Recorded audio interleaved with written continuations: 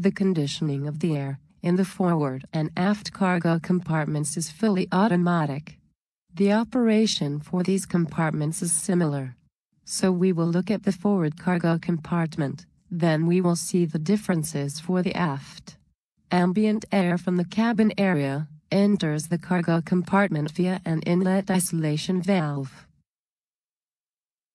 The air is removed from the compartment, either by an extraction fan when running, or by differential pressure when in flight.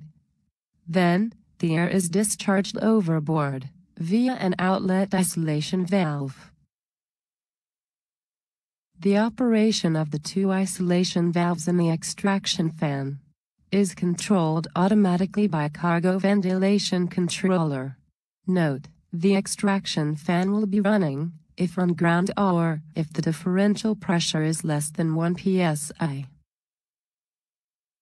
For the forward cargo heating system, if installed, hot bleed air from cockpit and cabin hot air duct is supplied via a trim air valve. The operation of the cargo trim air system is very similar to the trim air system of the air conditioning system. The forward cargo heating controller controls the related trim air valve and monitors the related duct inlet and zone temperatures. Note Compartment heating is not available when the forward cargo door is open or when the hot air valve is closed. For the aft cargo compartment, the same cargo ventilation controller controls the inlet and outlet isolation valves and the extraction fan. Note: The extraction fan runs continuously as long as the related isolation valves are open. For the aft cargo heating system, if installed, the hot air from bleed system is supplied to the related trim air valve via a cargo pressure regulating valve. The aft cargo heating controller controls the related trim air valve and monitors the related duct inlet and zone temperatures. Note. Compartment heating is not available when the aft cargo door is open or when the cargo pressure regulating valve is closed. Let's see how information on the cargo conditioning system is presented to the pilots. Let's look at the ECAM COND page.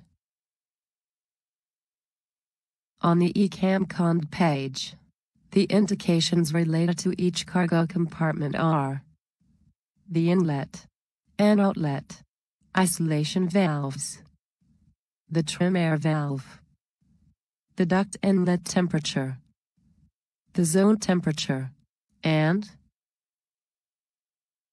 the hot air valve for cockpit, cabin, and forward cargo, trim air supply the aft cargo pressure regulating valve. Notice that there are no indications for the extraction fans. On the overhead panel, there is a cargo heat panel, which contains the controls related to cargo heating if installed, and cargo ventilation. For each cargo compartment, there is an isolation valve push-button switch. These push-button switches normally remain in their lights-out auto position. In this case, the cargo ventilation controller will automatically open and close the isolation valves. The temperature selectors send demand signals to the related cargo heating controllers. The cargo heating controller then moves the related trim air valve to adjust the temperature of the air entering the compartment. The hot air push button switch controls the aft cargo pressure regulating valve via the aft cargo heating controller.